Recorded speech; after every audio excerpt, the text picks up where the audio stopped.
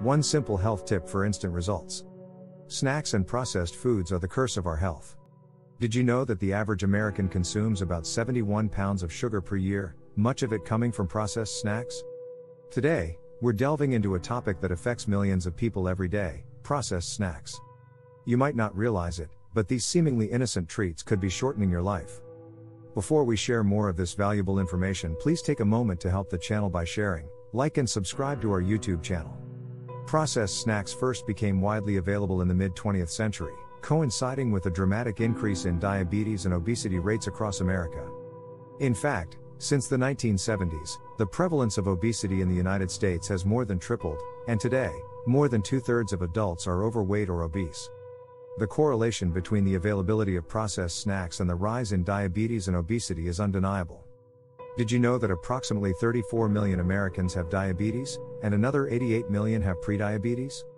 These snacks, packed with sugar, unhealthy fats, and artificial additives, quickly became staples in many households. But what exactly makes these snacks so dangerous? It's not just about the extra pounds they pack on. Consuming too many processed snacks can lead to insulin resistance, metabolic syndrome, and ultimately, type 2 diabetes.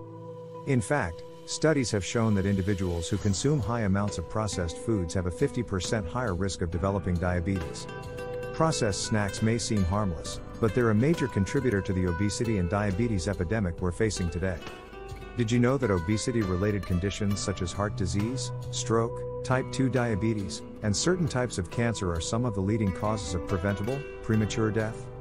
It's crucial for people to be aware of the health dangers these snacks pose and to prioritize whole, nutrient dense foods instead. So, what can you do to protect your health? It's simple ditch the processed snacks and opt for whole, unprocessed foods whenever possible. Your body will thank you for it, and you'll be taking a crucial step towards a longer, healthier life. Remember, your health is in your hands. Don't let processed snacks shorten your life. We hope you found this discussion informative, and we encourage you to share your thoughts and experiences in the comments below.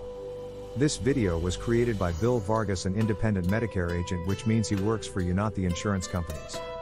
Go to MedicareSelfEnroll.com, enter your zip code to find the right Medicare plan for you in your area, and then easily self enroll. Thanks for watching, and don't forget to subscribe for more eye opening content like this.